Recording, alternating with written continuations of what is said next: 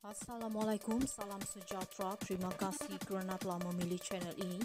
Jangan lupa tekan butang like, komen, subscribe dan share untuk Adun PAS minta digugurkan bertanding pada pilihan raya negeri.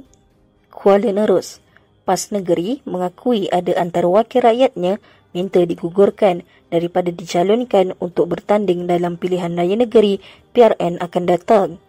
Naib Presiden PAS, Datuk Seri Dr. Ahmad Samsuri Mokhtar berkata, wakil rakyat berkenaan menghantar surat kepada pimpinan tertinggi parti meminta namanya digugurkan.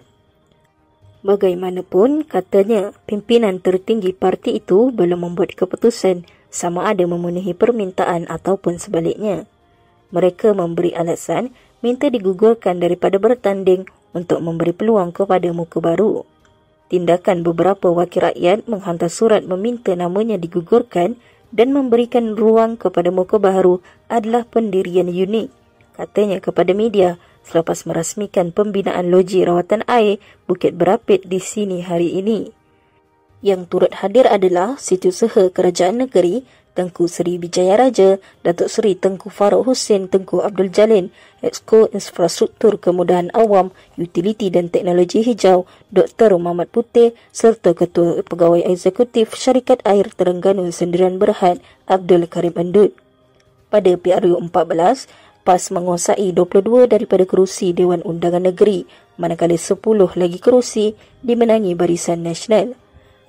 Kerusi dimenangi BN adalah Don Kijal, Bukit Besi, Telemong, Seberang Takir, Bukit Rakit, Langkap, Permaisuri, Jertih, Kuala Besut dan Hulu Besut.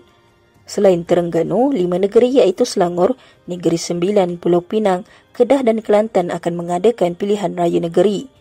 Dr. Ahmad Samsuri yang juga merupakan Menteri Besar mengesahkan gandingan muka lama dan baru akan bertanding pada pilihan raya negeri nanti mengulas kaedah menggunakan bapa angkat untuk membantu kelancaran kempen, Adun Uru Rendang itu berkata, PAS dan parti dalam gabungan Perikatan Nasional akan menggunakan strategi sendiri.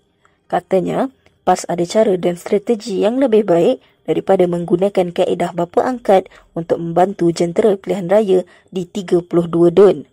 Apabila sebut soal strategi, kita tidak boleh dedahkan tetapi strategi akan digunakan lebih baik daripada menggunakan bapa angkat, katanya.